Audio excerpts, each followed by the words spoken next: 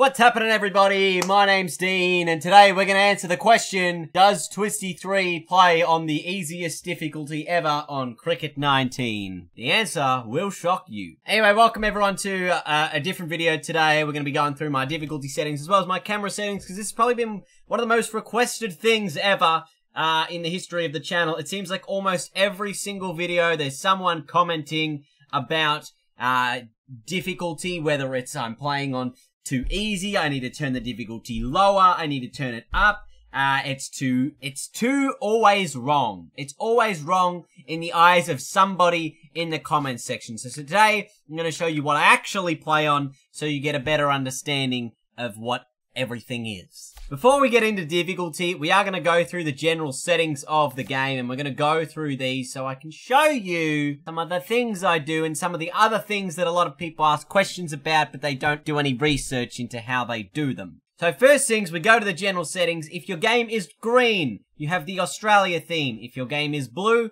you have the England theme. England is the theme by default. Uh, unless I think you bought the country, the game on disc in Australia. There you go. And by green, I mean this color that's behind me here. That's, that's what you're doing in that setting. Most of this stuff I don't change. The assisted fielding's on semi-assisted because God, if I, I do not want to touch manual. That sounds like an absolute terrible thing. Uh, a lot of people want to know these two things for some reason. They want to know, uh, obviously, if you want it in kilometers per hour, you want the metric system. If you want uh, miles per hour, you want the imperial system. The uh, Imperials versus the Re the rebels. You want the metric system. It's the smart system. Makes sense. 1, 100, it, like everything makes sense. There's no nonsense there. For the score format, depending on where you're from, if you're you're from Australia, we've got uh, the wickets first in the run, so you're 4 for 100, you're 2 for 222. Uh, if you want it the other way around, because you're from uh, overseas, which I think we're like one of the only countries that do it this way, but everyone else seems to do it with the runs first, and you're 400 million to zero. Like, that's, I don't know, strange to me, but that's what I grew up on, the wickets uh, run. So you can change it that way as well if you're uh, complaining about anything. Most of this stuff I don't change. Um, there's like a few new settings in here that I haven't touched. Like, uh, th these two where the AI can, like, actually pick your bowlers for you so you don't, like, have to worry about changing them all the time. It'll do it automatically and it'll set all the fields for you. But uh, why would you want the AI to do anything? You're the god. You're in control of the team. You should do it all. Uh, these settings are all new as well. These accessibility settings. I think they came in with the last patch. Uh, which, uh, you can change the, the colors that dictate what is what. Uh, so for me, because, uh, the difficulty I play on is the hardest, I don't actually have color indicators for anything specifically. Uh, it's just sort of, uh, if you want to, to have it that way, these are the ones by default. You can change, uh, the colors that come up uh, for like good length balls, full deliveries, very full deliveries, etc., etc. Uh, and my pitch mark is black. I don't know if that's by default, um, but do that if you haven't done that already. I think it's white by default because you get all these other settings, but um, black is what I've got on mine. Uh, the next thing that a lot of people will want to look at is these camera settings over here. I can tell you these are the greatest camera set. You know, um, th these are just the ones I play on. It takes a little bit of getting used to if you've played from behind the batsman a lot of the time. Uh, it took me a while to get the timing right from these camera angles. Um, but these, I guess, are sort of your more traditional broadcast viewing camera angles. Uh, so bowling uh, and batting cameras, you put broadcast 2 on. And then for the fielding and running cameras, you put broadcast 3 on. They're the ones that I use in uh, a lot of the videos where I'm playing as a whole team. Uh, career mode's a bit different uh, where I play from behind the batsman. Uh, but uh, these, these, oh my god, look at me, I'm in, I'm dying, I'm dying. What is going on here? Gee whiz. Apologies for that inconvenience. Uh, but, yeah, these are, these are the camera settings I've got. It's, uh, broadcast 2, broadcast 3, broadcast 2, broadcast 3. Uh, I don't have any filters on the game. These are if you want to change, like, the tones and stuff. You can have, if you want to play, like, an old school game, you could have the sepia tone. If you want to, like, have it black and white candlelight. I don't know what the hell that would be, but um, there's a bunch of different settings you can have here if you really wanted to do it. I just have the default. Uh, I've recently turned this one off, which is the the Pro Cam catching camera. So when you go into that uh, that like catch thing where it's got the stick and you move it across,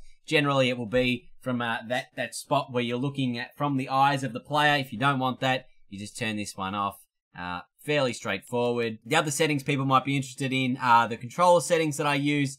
Uh, I use standard for batting because I feel like the buttons are actually more responsive uh, than the sticks. That's just something I found over the years, and, and generally the, the buttons might give you a little bit more better accuracy. You're only worried about one stick doing the wrong thing rather than two. Uh, and uh, the pace bowling uh, is the other one that I use the old controls for, and then the spin bowling I use the new controls for because I don't like the old controls for spin bowling. So I use the new ones, which are the, the buttons. Uh, I think there's a little bit less variety in what you can do in terms of the variations you can bowl with the uh, buttons, but uh, it's still a he heap of stuff you can do, and I still find it just as effective, if not more effective, because it's actually simpler to do it. Just makes more sense to do it that way. Because I play on a broadcast camera, you want to make sure you invert the batting because you're looking at it from front on. So make sure you invert that batting. Uh, and the verses, I guess, is just your, your two player. So I use the same cameras for that anyway. So, uh, I have that inverted as well. But now let's get into the main settings, which is the audio settings. You'll want to make sure you turn the commentary all the way down to zero so you don't have to listen to the commentators forever. That's it. Just turn that on to zero. Easy done. But uh, you're mostly here, I suppose, for the difficulty settings. I've got a couple of custom difficulties. This is my epic difficulty, which is my batting batting custom difficulty. It doesn't matter what any of the other settings on this are, because the only ones I actually use are the batting ones. And I'll show you that uh, a little bit later on as to how you get that. Um, so let me just show you. We'll make a new difficulty, uh, a new custom difficulty, and we'll go the batting onto hardest. So this is how the batting difficulty looks uh, on hardest. So this is how it looks on hardest. Uh, lots of zeros, lots of 100s. Basically pushing a lot of this to the limit uh, in terms of how, uh, in terms of the limitations of the game.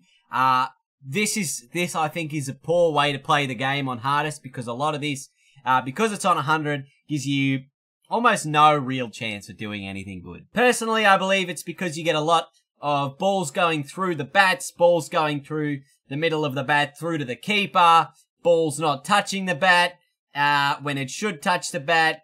Basically, the ball going through the bat is like the biggest issue, uh, with this difficulty, uh, as well as just, it's just bollocks, really. It's just terrible. It's terrible difficulty. Should never be played on. Now, because everything is pushed to the limit, it, it basically puts a lot of the stuff, uh, from what I can tell, uh, on RNG. It, it puts a lot of thing on random number generators. So it basically the game is playing against you, trying to get you to edge the ball every single delivery. So even if you have perfect timing, uh, like ideal timing, ideal shot selection, and ideal footwork, you could still end up with a roll uh, of these random numbers that'll get you out. And that I feel is where the game loses uh, its sense of self. So don't worry about those settings. Don't use those settings. Look at my epic difficulty, because these are the settings I use. Um, I've basically modified a lot of these. It's a lot of like 90 and 10s instead of 100 and zeros because it feels a lot more balanced. It feels like you got a bit more of a chance. There are still some instances I've found where the ball does go through the middle of the bat, but for the most part, it takes away a lot of that.